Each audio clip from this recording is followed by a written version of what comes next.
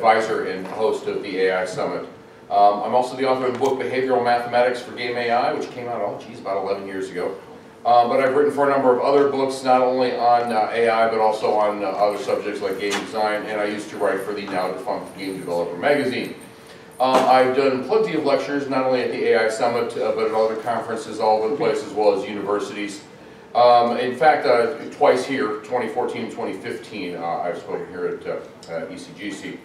Um, I do AI consulting now for quite a while. Uh, I was the lead architect of the uh, canceled EverQuest Next. No, it was not canceled because of the AI. Just saying.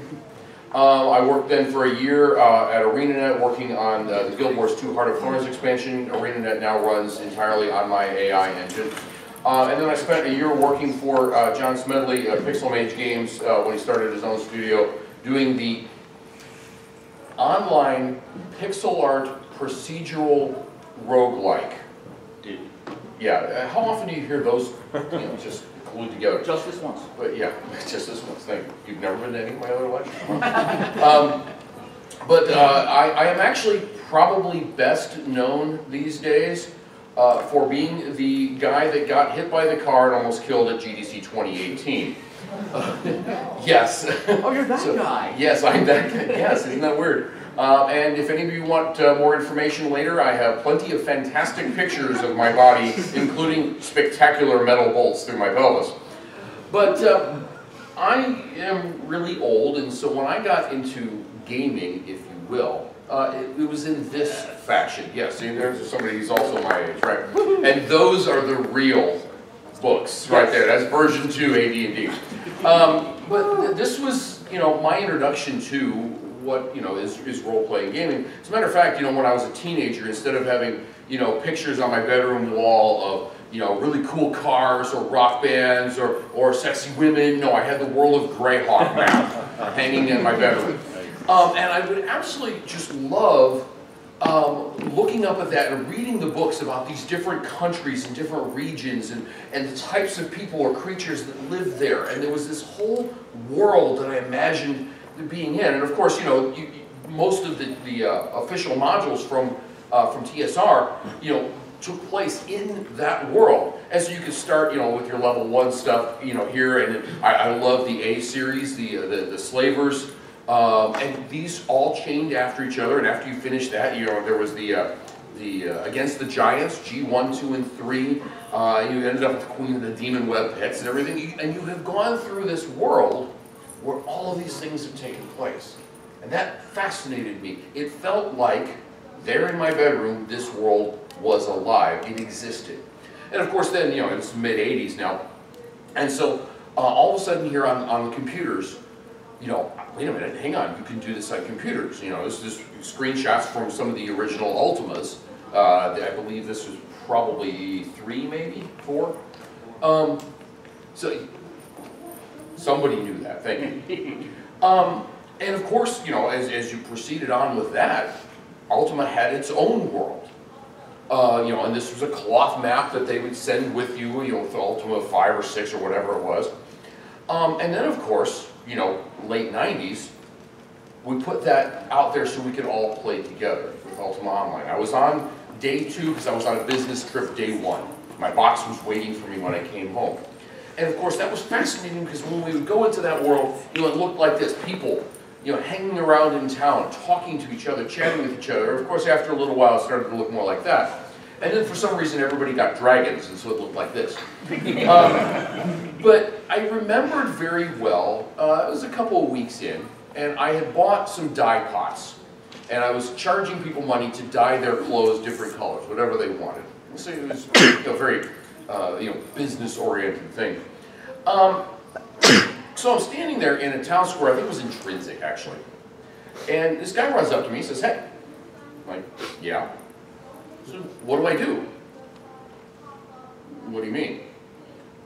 What am I supposed to do? Well, uh, I'm not, not sure I follow you. In the game, what are you supposed to do? Uh, anything you want? No, I mean, what's the story? The story? Yeah, where's the first part of the story? Of course, now I'm starting to catch on, you know, where this guy's going with this. I said, well, you see that gate to the city over there? Is that where you go for the first story? Look, you go out that gate, and whatever happens to you is your first story. And then it'll tell me where to go? Someone might. Of course, what I knew is that there were some uh, player killers right outside the city. That's actually why I was making gold dyeing people's clothes instead of going out there myself. But I guarantee you, I never saw the guy again, at least as far as I'm aware, but I guarantee you that he had a story, something that happened to him. Off he went. Um, and this really highlighted to me something that is I've kind of been building on just mentally over the years, however long it's been since I came out, 20 years now. Um, is there's a difference between having the experience and having an experience in games.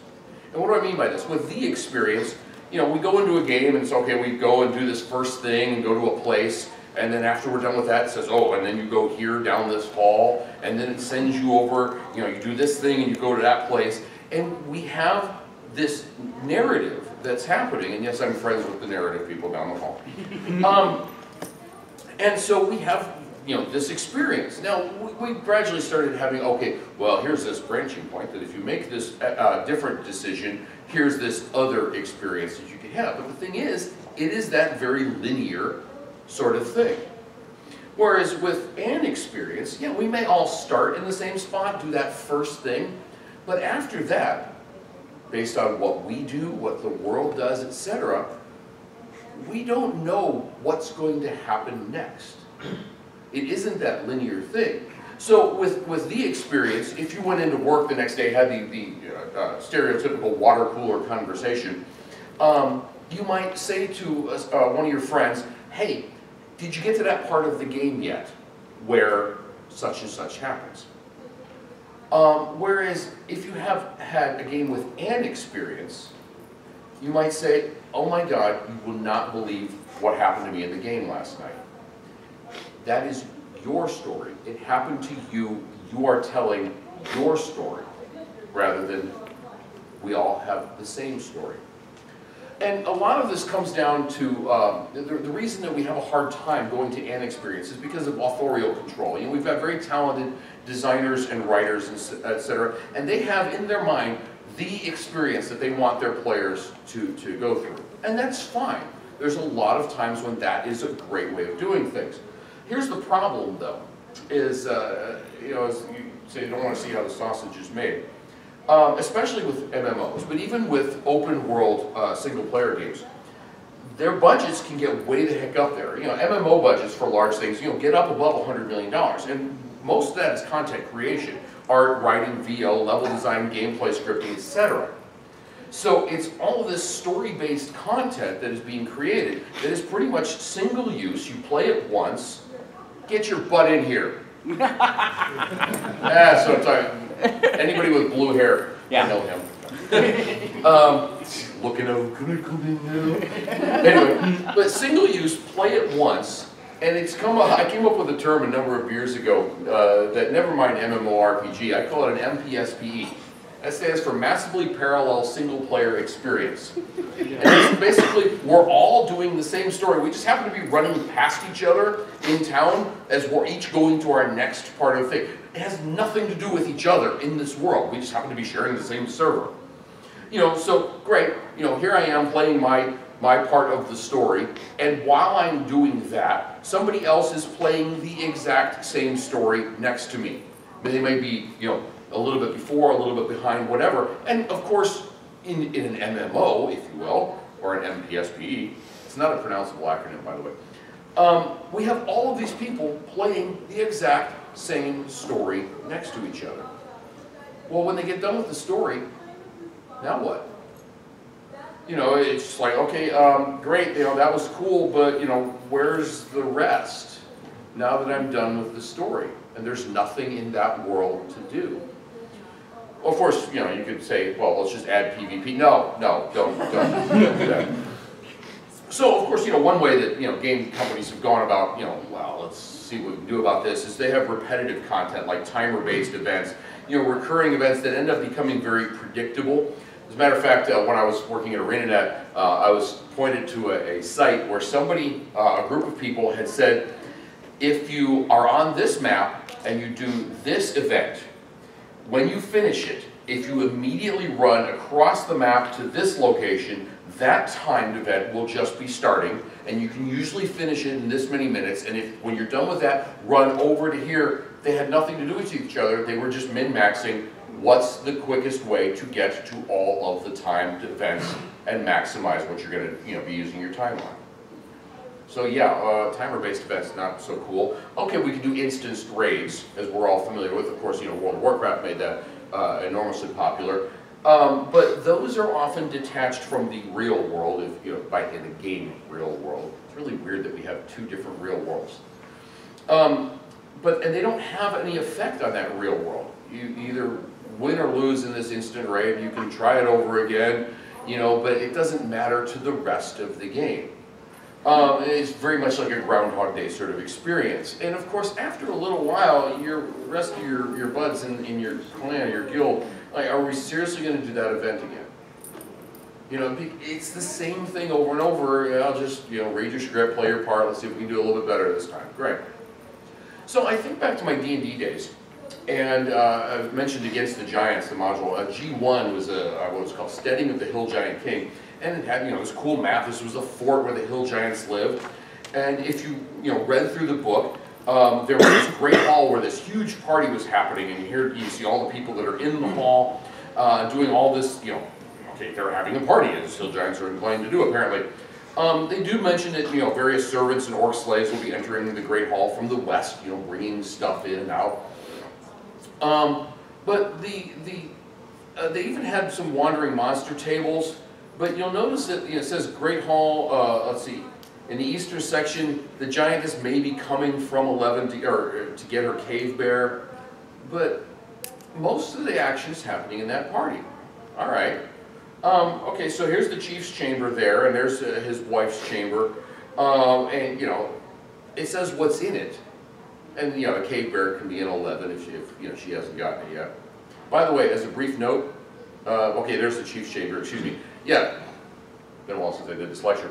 The thing is, you could go and camp out in the chief's chamber, and he's at the party, and at no time does it say that he ever leaves. You could just hang out there as long as you want. Uh, what I was going to point out is, by the way, notice that this room has no doors on it. that's actually, if you look in the book, that's where, what is it, the servants of the other, uh, the, the female hill giants stay. I don't know whether they're not allowed to come out of the room or not allowed to go in the room, but there's no door on there. So I just thought that, I didn't notice that for, you know, 30 years until I was making this lecture.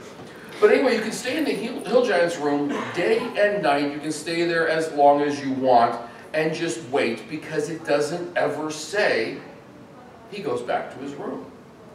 All right, well, shit, how do we handle this? Um, well, if you're a hill giant, they're just like, okay, well, we're gonna, you know, party on. Uh, wow, okay. Hmm. How should I do this? I need to think like a hill giant. But it reminds me a little bit of uh, my friend Rez Graham uh, at one of the, uh, the AI Summit uh, uh, Turing Tantrum AI Devs rant that we've been doing for years and years there. He put this screenshot up. This is from Dragon Age Origins, I believe. And he said, this is what I call the eternal wagon. There's an elf who's sitting there and will constantly be messing with this wagon. I mean, I can unite the kingdoms of elves and dwarves and men all together, fight the archdemon and come back, and after all that time, this guy's still fucking with this wagon. we see this in games all the time. How do we handle this? Okay, what would a hill giant do? And that's great, you know, as a DM, you kind of wing it and everything. Um, and we have all these talented writers and designers, as I talked about. Well, you know, they're really good at what they do, right? Here's the problem. There's so many instances like this that can come up in games. You can't write it all. Again, disclaimer, I am friends with the folks down the hall, all the narrative people. They believe, they're like, yeah, Dave's right. So, I'm not attributing that quote to anybody though, that'd give me trouble. Um, okay, so here's the thought. You work really hard at putting your game together, right? And you ship it, and people like it. Great. Um, you know, but after a while, you know, they say, okay, you know, our, my enjoyment's going down um, because I've kind of done everything there is to do in the game. Well, that sucks. Well, okay, how about this? We work really hard on a game, we ship it, people like it, and you know, gradually their excitement is going down. But while that's happening, we're working again on more of the game so we can ship an expansion or an update or some sort of extra release and there's more content and you ship it and people like it, but of course, know, their excitement does go down again with the extra stuff. You, but that's fine. You know, we'll do more. Oh, it's like Thanksgiving dinner though. People are eating it faster than we can cook it. Hmm. All right. Uh, even if you were working on it, you know, and working on it some more, you're going to be shipping all these things. They might like it, but uh, you're putting in a lot of work for less and less uh, you know, payback. Okay, how about this? You work really hard on the game, and you ship it, and people like it, but then the game continues, and they continue to like it because they don't get bored of it because it's always different for them. Notice what's missing here is there's no green bar underneath that. There's no, I'm going back to working on my game some more and shipping an expansion. So I'm going to ask you to trust me on this. All right? Just roll with me on this. We can do this. Because, yeah, we have a lot of designers and, and writers that are very talented.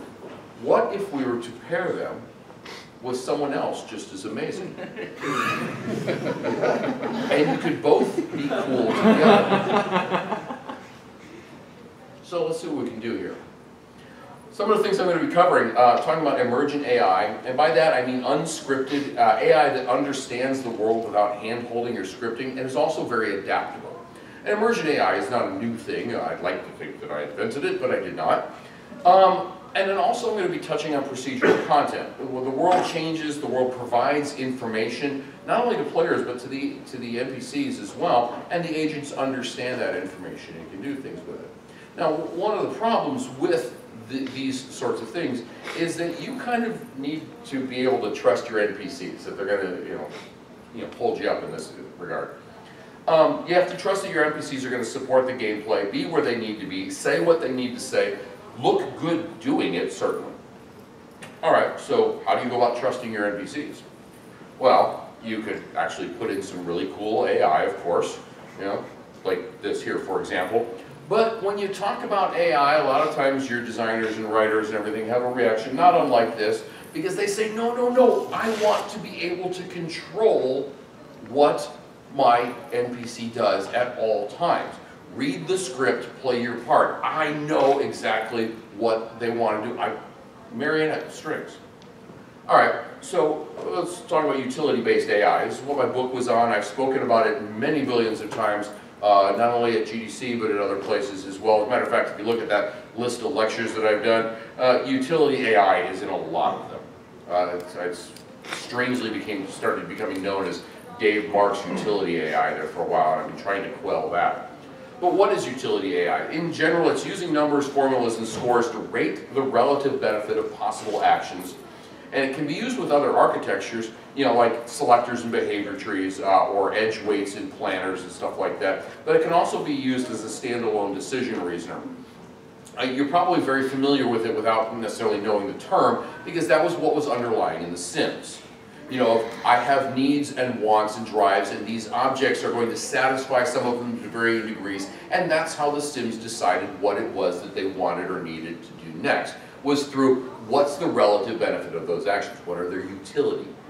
Um, now, with emergent behavior, because utility is constantly checking what's the best thing for me to do, it really gives the AI the ability to think for itself. It rarely ever gets stuck. It isn't predictable, but it looks reasonable.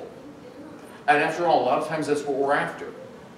Um, the same decision model can run combat, tactical, ambient behaviors, etc. like that, but it also can be taken over at any moment to support scripted interactions. Uh, and then handed back to a more autonomous system if they're, okay, you don't have to go push the big red button, all right, do whatever you think is best. Um, as I mentioned, I've done plenty of lectures on utility at GDC. Uh, most importantly, if you look, just go to gdcvault.com and search for the word centaur. this will come up. Uh, I did with Mike Lewis, a good friend and, and colleague of mine, when I was at ArenaNet. This is my IAUS architecture. It stands for Infinite Axis Utility System. Um, but this will give you an idea of not only from a programming standpoint, but from a design standpoint of how your designers can use utility AI to do nifty things. All right, so part of the key to doing this, though, is uh, putting intelligence in the world. Um, so a lot of times we're used to having NPCs on Rails. They're either at a fixed location like shopkeepers or quest givers uh, or town criers or whatever, um, or they're on things like patrol routes that have been placed by a designer. It gives an illusion of activity, but if you stand and watch it for a little while, you're like, wow, that person's doing the exact same path over and over again. Um, or you can use it to provide challenges, like guards that are on a patrol path. It's like, okay, and after he goes there, he's going to turn the corner, and now I'm going to sneak out. Um, but this is what happens though, is we have these NPCs on Rails. The designer says, okay, we're going to start here, and then we're going to go to that point here, and then we're going to go over here to point three, and then point four. Okay, great. But what about all these other cool places? Well, I didn't tell them to go there. Okay, well, of course, one of the problems, as I mentioned, is you end up with like a very repeating pattern, and we, as, as human brains, are really, really good at detecting repeating patterns. All right, so what if we were to put intelligence into the world? By tagging certain locations or objects with information, we can also you know, put tags on NPCs, we can put them on objects and locations, as I mentioned. Uh, we can use something called influence maps, which I've also done other lectures on uh, before. But now we can have NPCs that wander because maybe we just tagged locations and objects in the world that, you know what, these are very interesting places for you to go. You're a villager, you're a, a guard, you're, you know, a, a, bunny rabbit, I don't care. You have interesting places to go, and then you just turn the NPC loose, and they say, okay, well, I'm going to go here, and after that, oh, how about this one over there? Uh, and then I'm going to go here, and this one, and I'm going to be bouncing around, and I might even go back to one of the ones I visited before, etc., uh, or even perhaps go back to the start. But the thing is, nobody determined that. The NPC just decided I'm going to go to another nearby interesting place. And so like if you ran a different NPC through it, they may go through it this way instead. Which, imagine if you're standing in a village, now you're not seeing repeating patterns. You're seeing people just looking like they're doing whatever they want. That makes sense, yeah, I can see why he's doing that. Right. The cool thing about this is, is if, let's say your level designer came back and said, I'm going to add this other little place right up here that we just added a piece of art and we tagged it as another one of the interesting places. Now the NPC is automatically going to include it in what it does. No designer intervention necessary. They might go through it from any of those. They might go all the way across to these others after it's done. All just by putting a new object with that tag in there. No designer intervention necessary. um, the other thing too is, part of doing this is you don't, you don't have any more manual placement of waypoints. Um, so it takes less designer time to actually say, well, I'm going to have this, this is his route that he's doing. Uh, it's much more flexible and far more extensible. As I mentioned, you can just drop things in. Um, but how can we trust them to look good? Okay, well, that's, that's important. Um, obviously, we, you know, many of us know about pathfinding, you know, A star and whatnot, and there's, you know, no, it's not a solved problem, but it's pretty darn close.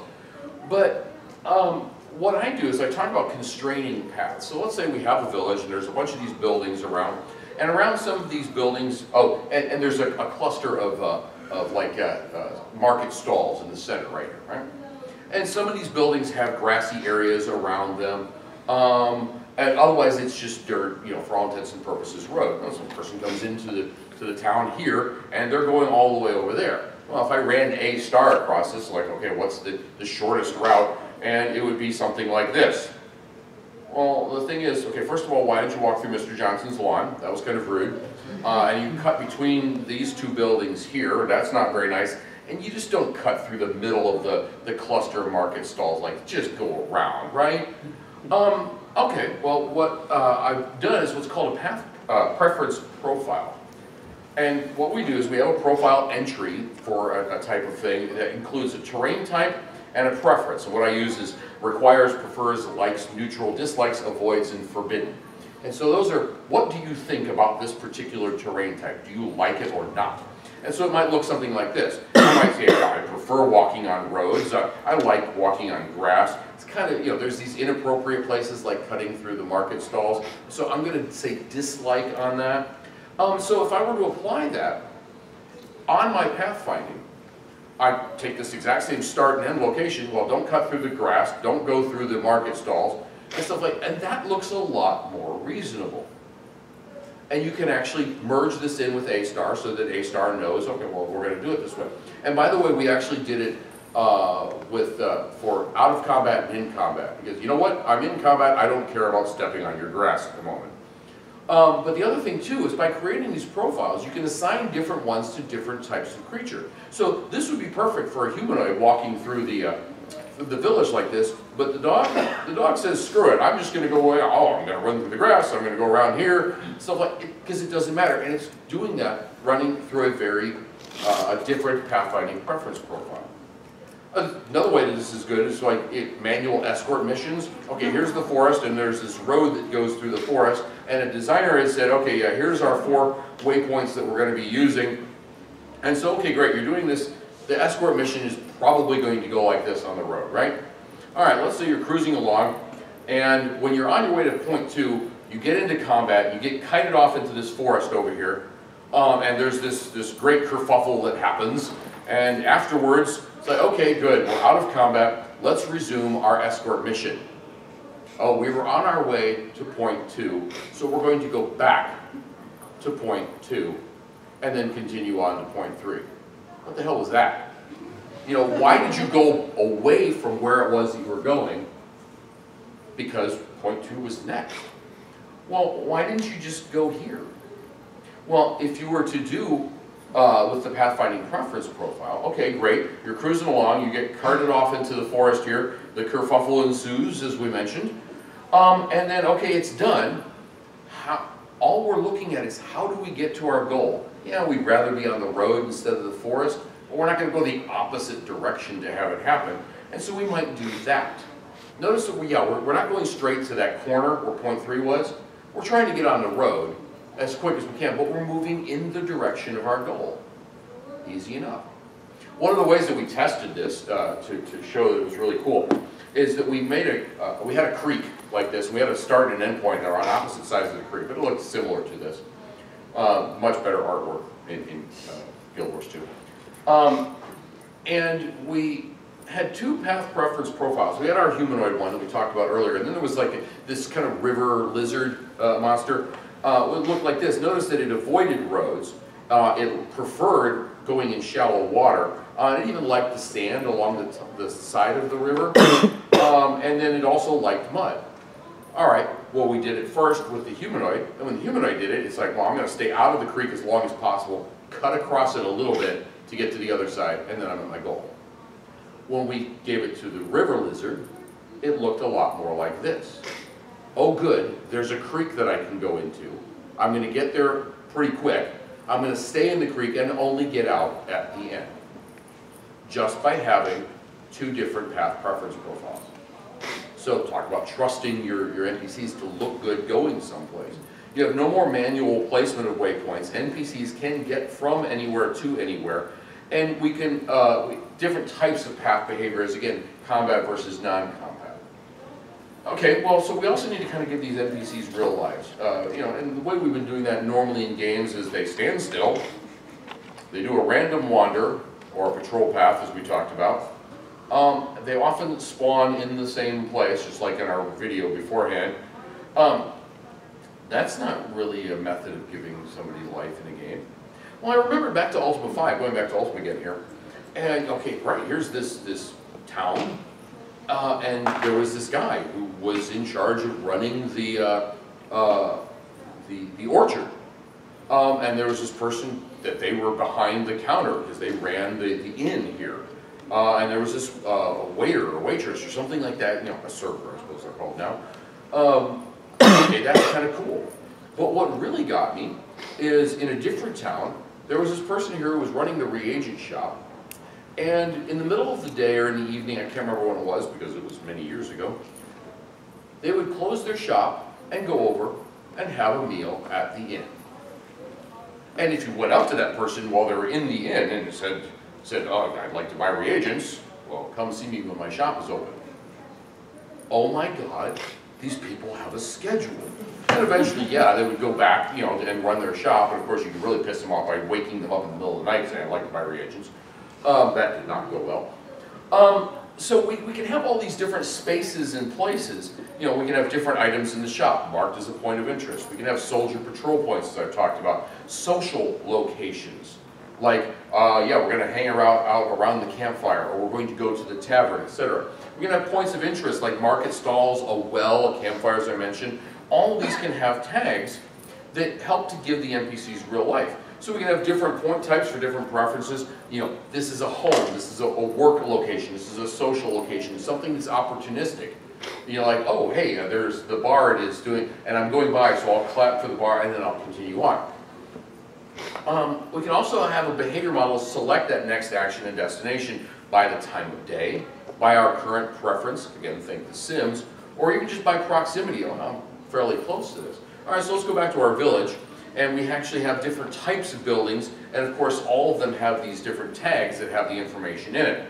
So, person comes into the village, this is an NPC that wanders into the village and says, okay, well first I'm going to stop at this shop, and then after that I'm going to go over, because it's the time of day, I'm going to go over to the tavern, have a bite to eat, maybe a pint, and then after that I am going to go home.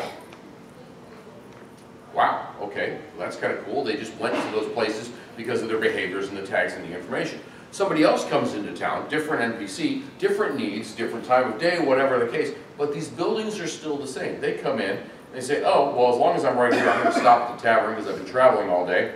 And then after that, I'm going to go over to the shop because I need to buy or sell some stuff. And after that, I'm going to go stay at the inn. No designer intervention necessary. You've let these NPCs do what it is that they feel that they want to do next. Okay, well, what about when they're in this tavern? There's opportunity in there, right? We'll talk about that in a bit. But uh, tending shop. Let's say we go into a building and it has all these, you know, has a counter and a whole bunch of different displays. Now, normally what we're used to is the, the uh, person who runs that shop is going to stand behind the counter and stare at you when you walk in the door.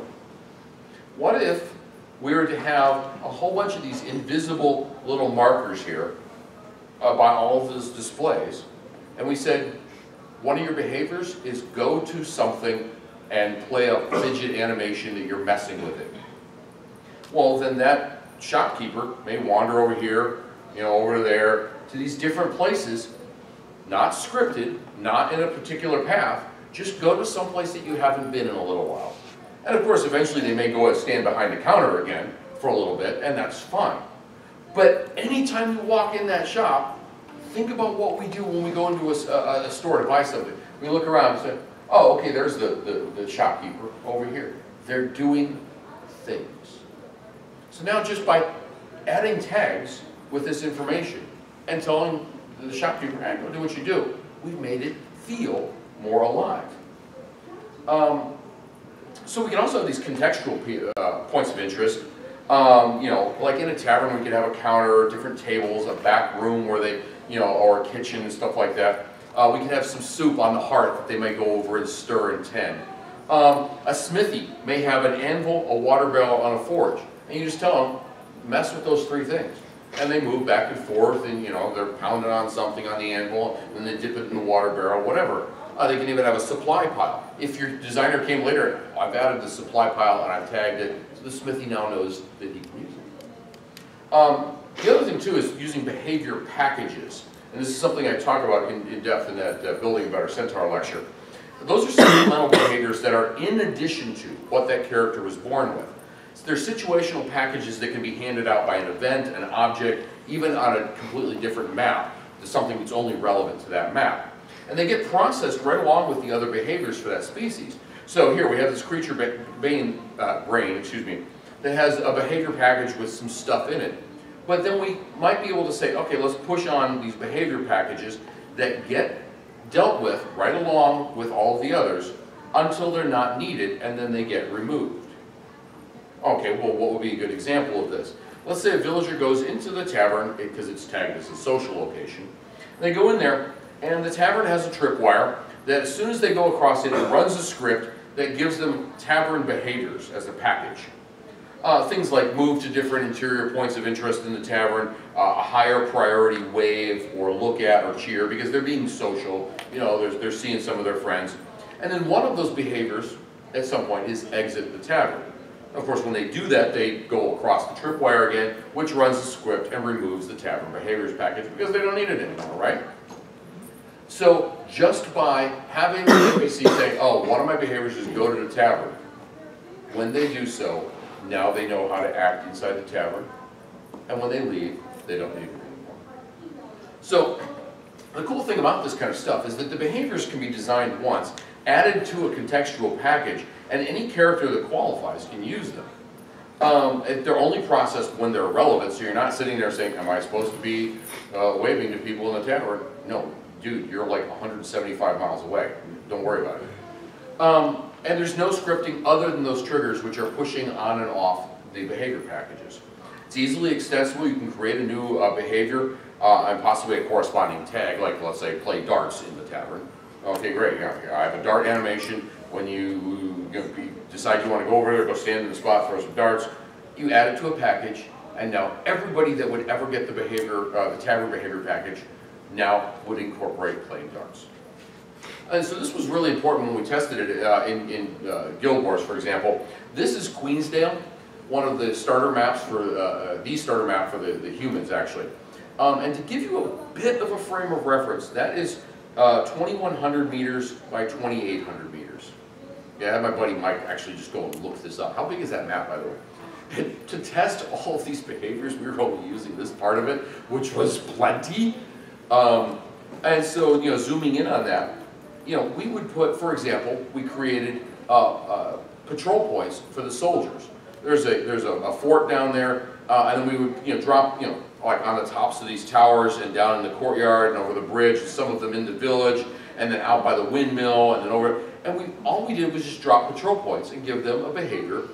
Go to a patrol point that you haven't seen in a while, but it's fairly you know close in a relative sense. Uh, and I think we even included that none of the other uh, uh, soldiers are near using influence maps.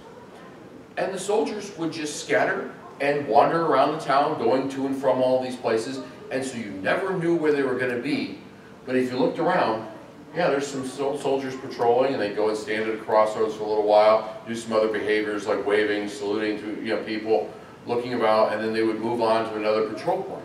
It looked natural, no designer intervention necessary we have all those things. Um, the uh, we also would do. Uh, got the wrong glasses on here. Oh, uh, uh, we had a, a, pack ox that we tested that would go out of the, the, gate of the city, go to the tavern, go to some other place, go to that windmill, pick up some grain, go to the fort, and again, it was just different uh, patrol points specifically for that delivery ox, we could actually create two or three delivery oxen, and they would just be wandering back and forth between these important uh, places no designer intervention necessary. Um, so the thing is though, you can have it because of the pathfinding that we did. You can say, here's our starting place right there toward the top, and we're going to go all the way over here to another point of interest, or to that one way the heck over there. we can trust that whatever it was that we told to do that was going to look good doing it. It would follow the right path based on its profile, etc no designer intervention necessary of saying, and then you go here, and here, and here, and boy, did the designers like that. So when you have a big world, like, you know, in the ultimate world, you could set all this up and have all of this interesting space being used in reasonable uh, ways by the NPCs. So, uh, you know, we have the, the control path method that, you know, designers used to use, which was very time consuming to, to place, very rigid and repetitive, not really easily extensible either, compared to our point of interest method, which is easy to uh, place, very flexible, um, very organic looking because it wasn't a repetitive path, and very easily extensible. You drop in a new place, and they know how to use it. You're done. Okay, another thing that uh, is, was a big deal is invisible constraints. Um, let's say you have an NPC and that's where he's anchored to. and he said, okay, you are allowed to go in a certain radius around that point. Well, that's what it is. It's an anchor with a chain, and so you can go anywhere as long as you don't get this far from that thing. Well, what happens if, you know, you could stand out here, you know, uh, and get to the edge of, well, that's it, I'm out at the end, so now I have to go all the way back to the center. Tell me that it doesn't look like this. Clicking on my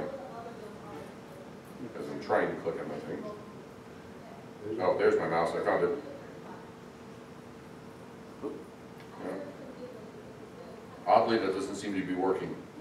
I'll act it out.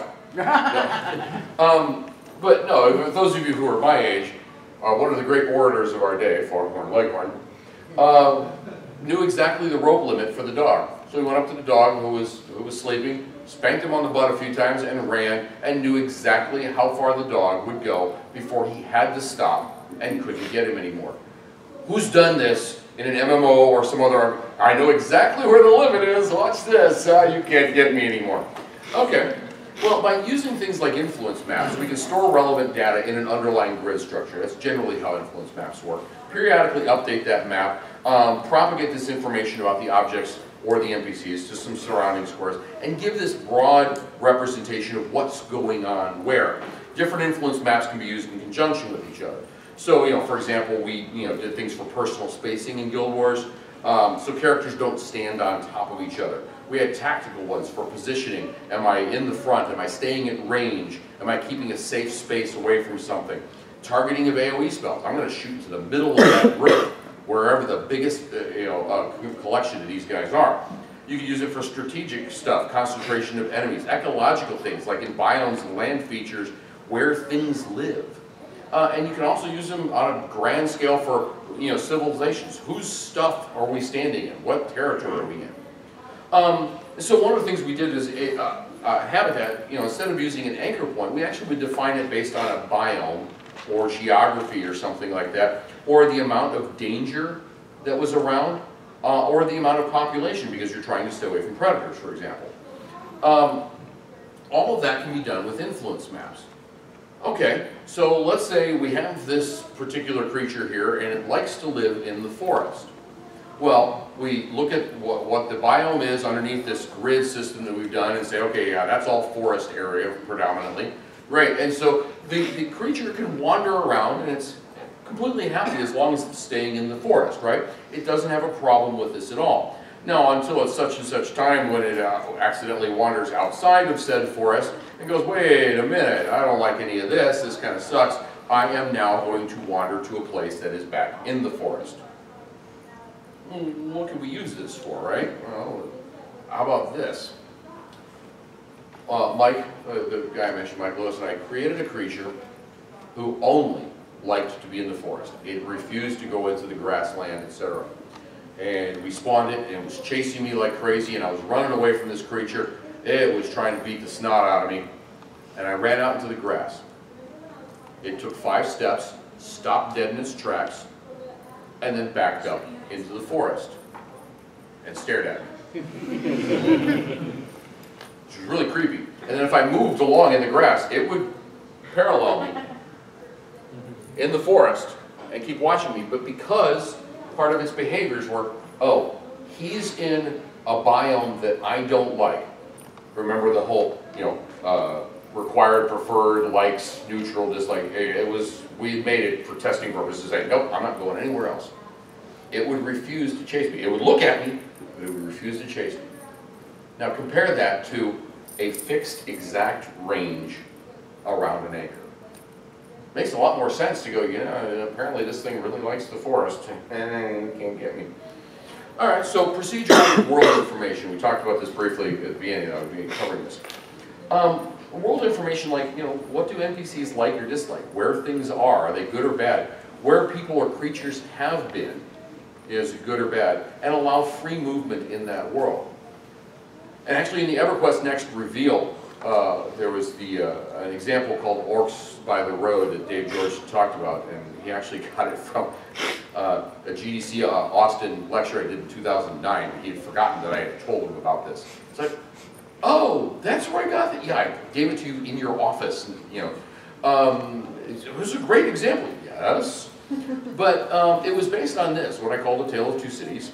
All right, so here's our world. There's these two cities uh, out there, and there's this forest between them. And there's a north road and a south road between the two cities.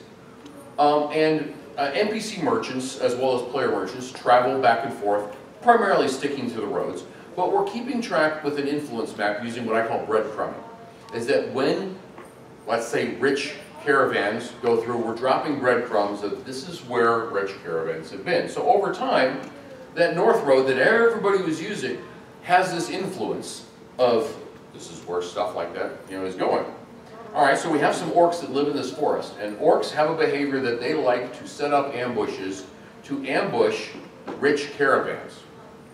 They look at the influence map and say, hmm, I wonder where the, oh look, there's a road nearby that has lots of caravans that travel back and forth on it, so let's go and set up our ambushes there. no designer intervention necessary. Okay? So they hang out there and they're ambushing caravans, caravans, excuse me. And the caravans also have some AI to go, you know what, we're not going to go through roads that go through dangerous areas, and eventually the orcs are kind of making this place dangerous, right? So over time, they start taking the south road instead, and of course that means that the influence for the caravans transfers to the south road instead, and it goes away from the north road. What do the orcs do? Well, this place kind of sucks. Huh, wonder where's the place we could go. Again, no designer intervention necessary. They will pick up stakes and go to the south road. Well, that's kind of cool. They just looked at their world and said, there's information here. What should we do with it? Well, let's say, um, for example, if the orcs were here, they might say, oh, look, here's a place where we can go, but that's really too close to the city. It doesn't feel right.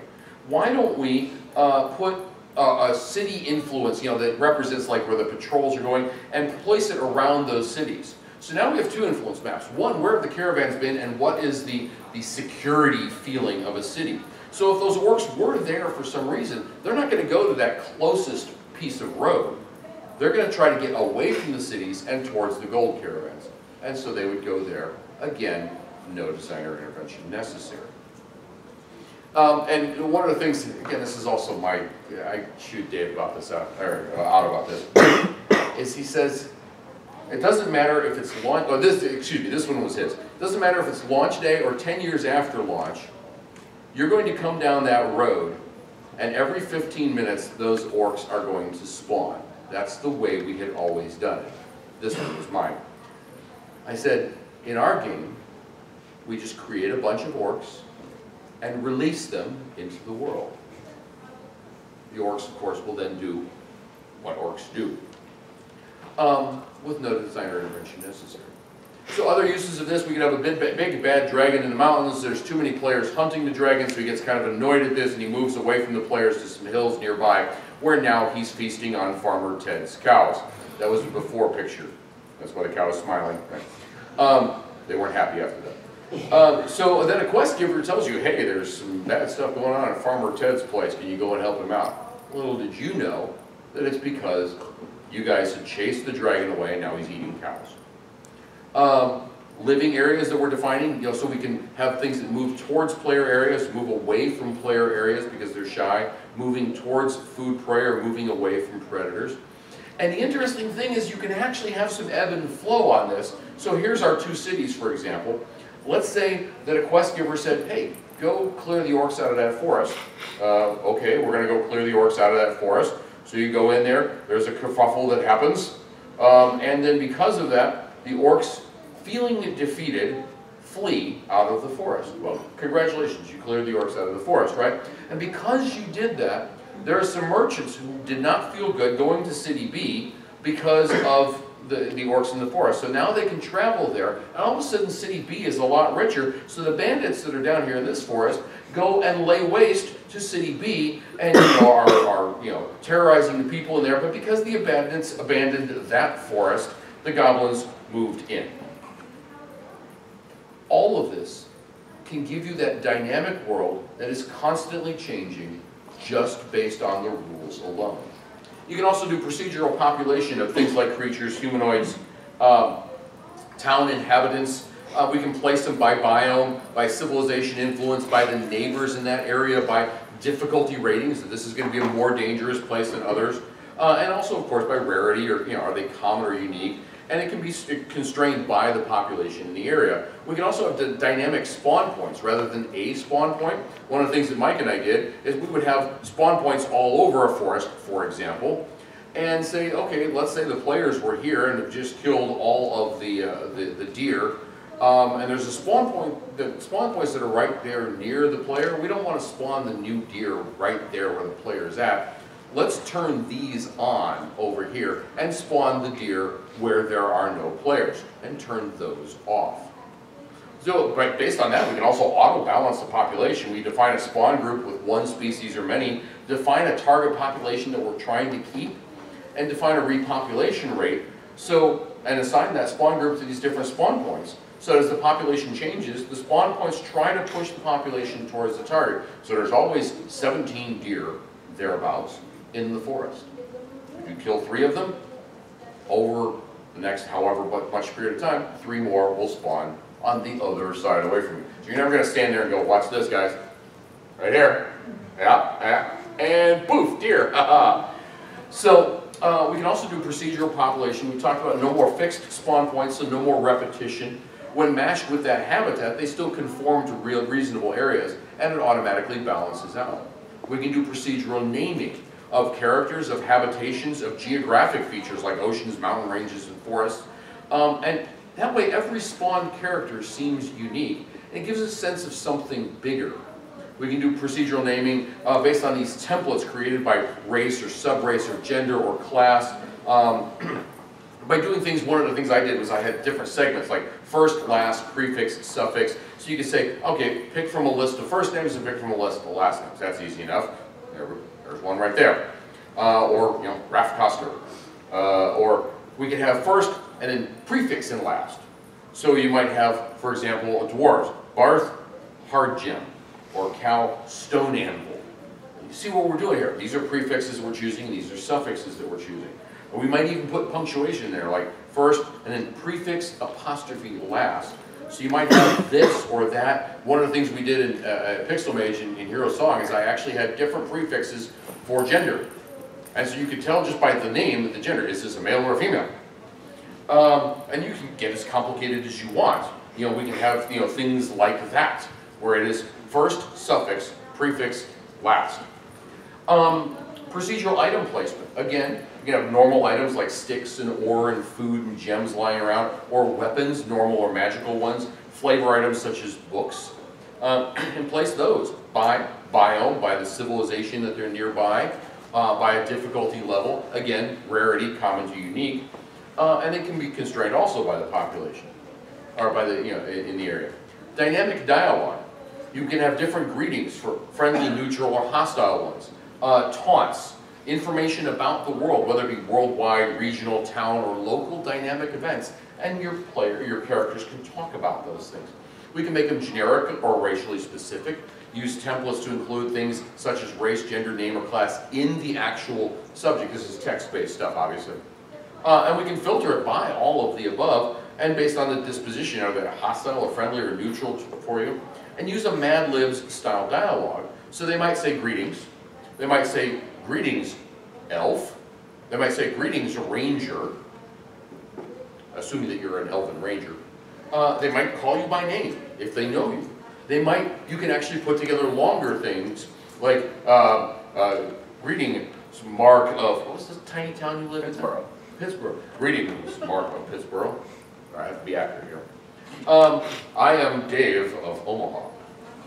Um, and we can filter it, of course, by race, by class, by gender, by level, by the location that we're in, by someone's origin or their disposition towards you.